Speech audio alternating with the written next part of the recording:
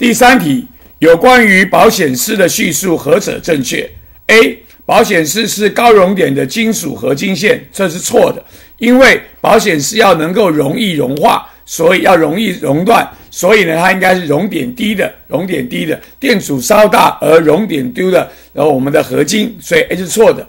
B 保险丝通常跟电源的地线串接在一起，这个也是错的，因为呢，我们保险丝是要能够保护我们的电器不受到过大的电流的影响，所以它要接在有电流的那条线上，而有电流那条线是火线，而不是地线，所以 B 是错的。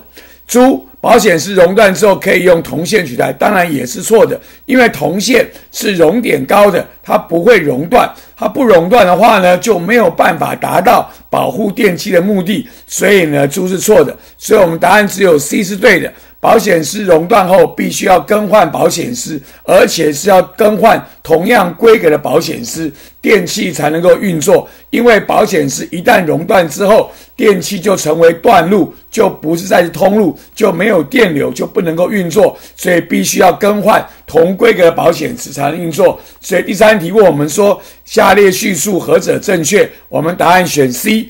保险丝熔断后，必须更换保险丝，电器才能够继续运作。